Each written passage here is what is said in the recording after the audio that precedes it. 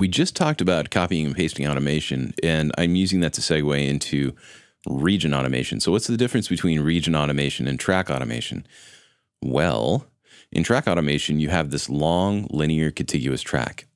If I make a point here and move that point up, you'll see that there's all kinds of other parts of other regions that are being affected by that move that I just did. If I select a region, and instead of using track automation, I click and it turns to region automation. Now I'm only going to automate within this region, and you'll see that the line is no longer contiguous. It doesn't move through all of the regions, right? So if I click here, it's creating a point, but on the region before it, this point is not affecting that region before it. Some people really prefer to work this way. So what I can do is at the end of this phrase, maybe I want to have a little delay on it.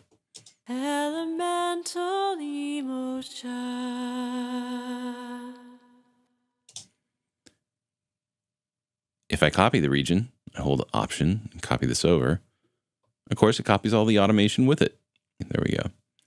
So all of the automation is actually region based. It's sitting inside that region. And that's pretty cool. A lot of people like to work that way. They, instead of thinking of these long linear uh, vector lines, they like to work region to region, which is pretty cool, especially when you're copying regions from track to track. And if you want to do things that don't affect things down or upstream when you're when you're making changes on certain parameters.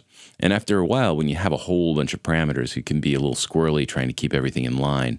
Make sure that no no one like volume parameter, let's say, if, if a part doesn't come in until much later in the piece, and you're using track automation, it could be that the one the last point of automation that you did and the point that's going to start you know, down the line, you know, way down in your piece, they might be off, but you can't really tell because the line is changing so gradually over time.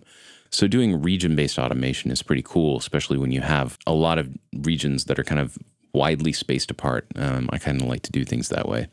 One thing that's kind of important is to decide which automation is going to take precedence over the other because you can have both track automation. I can switch this back to track automation and you'll see that there's still I could, you know, maybe do a line in here. And I can flip back and forth between track and region automation. So as you imagine, there's going to be a fight going on between the region and the track automation. So what we can do is we can actually say that um, we can either have the region automation take priority over the track automation or the track automation take priority over the region automation. And that's in your project settings under automation, region automation takes priority over track automation. So if we view this now, we saw that other line I created in there.